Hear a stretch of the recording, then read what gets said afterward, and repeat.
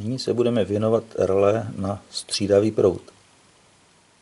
Zde vidíme dvě relé, které na první pohled vypadají naprosto stejně. A teprve při blížším pohledu zjistíme, že je tam přece jenom něco jiného. Jednak na štítku tohoto relé vidíme, že tam je napsáno 110 V, 50 Hz, znamená, že bude na střídavý proud. U toho předchozího relé máme napsáno 24 V stejnosměrných. Přitom typ RP700 zůstává shodný.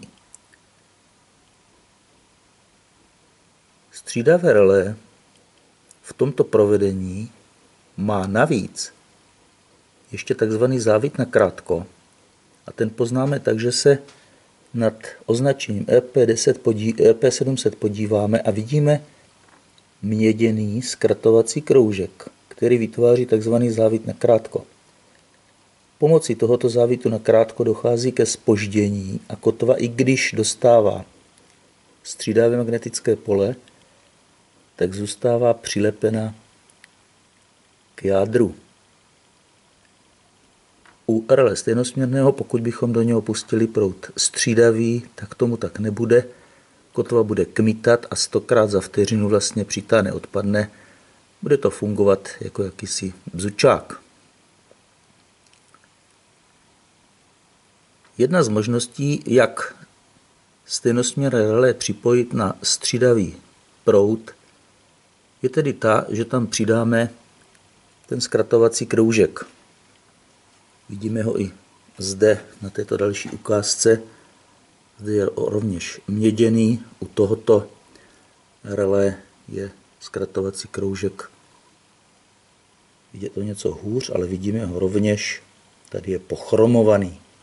Takže obě tyto relé se dají použít na střídavý proud. V praxi ovšem máme-li k dispozici pouze relé stejnosměrná a chtěli bychom je použít na relé na střídavý proud, budeme muset sáhnout k takzvanému usměrňovači. To znamená, buď to použijeme usměrňovač s jednou diodou, a s elektrolytickým kondenzátorem či několika. A stejnosměrný proud získáme vlastně až za usměrnění pomocí tohoto prvku. Nebo použijeme takzvaný můstek nebo Grecův můstek, kdy potom tam, kde máme společné anody a katody, v tomto případě vlevo a vpravo, připojíme stejnosměrné relé a nahoře a dole, kde jsou spojeny anody s katodou, tam připojíme střídavé napětí.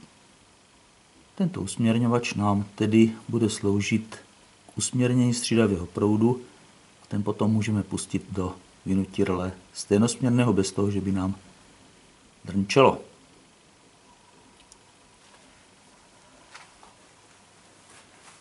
Nakonec se podíváme ještě na kontakty toho role nákresu. Zde vidíme na levé straně kontakt, který je v klidu nastaven takovým způsobem, že jsou spojena pero číslo 1 a 2 zleva, mezi, dvojkou a troj, mezi druhým a třetím je vzduchová mezera. V případě přitažení kotvy vidíme, že pomocí můstku prostřední pero bylo posunuto směrem doprava. První s druhým se rozpojili a zůstává nám spojeno pero druhé a třetí. Schematická značka relé může být taková, ale existují i jiné způsoby schematických značek, takže v mnohých schématech se musíme podívat. Je to většinou docela dobře poznat. A zde máme zase schematicky znázorněny tři typy kontaktů, takzvané základní. Na levé straně máme kontakt přepínací. Vidíme, že pera jsou tři. Pero levé zatím v tuto chvíli je rozpojeno a prostřední s tím pravým je spojeno. Další kontakt je spínací, to znamená, že v klidu je rozpojen. Další kontakt je rozpínací, někdy se říká také rozpojovací a ten je v klidu spojen. Budeme si pamatovat, že na schématu je vždycky zařízení nakresleno takovým způsobem, jako kdyby bylo bez napájení. To znamená, všechna relé jsou odpadena. Podle toho potom jsou taky na schématu nakresleny kontakty. Na dalším obrázku vlastně máme schéma relé, které má spínací kontakt, takže vidíme tady schematickou značku vynutí a k tomu ten spínací kontakt. Na pravé polovině tohoto obrázku vidíme zase vynutí relé a k tomu kontakt, který je na pravé straně spojen, na levé straně rozpojen, takže v tomto případě je udělán rozpínací kontakt z kontaktu přepínacího. A na posledním obrázku se podíváme na kontakty relé R65. Toto relé má označení A, vidíme ho vprostřed na tomto obrázku.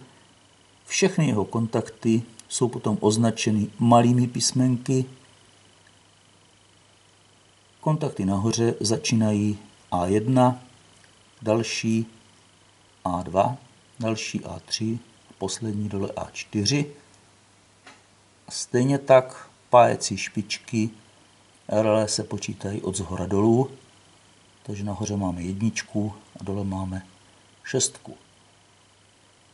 I v poznámce máme napsáno, že se díváme ze strany zadní, to znamená ze strany přívodů na jednotlivé kontakty anebo na špičky vynutí a podle toho se také toto role čísluje. Budeme si pamatovat, že relé mývají většinou označení velkými písmeny abecedy, jejich kontakty, potom malými písmeny.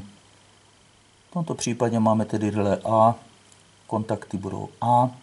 Budeme-li mít relé X, jeho kontakty budou označeny malým X. Bude-li to relé Z, budou označeny malými Z.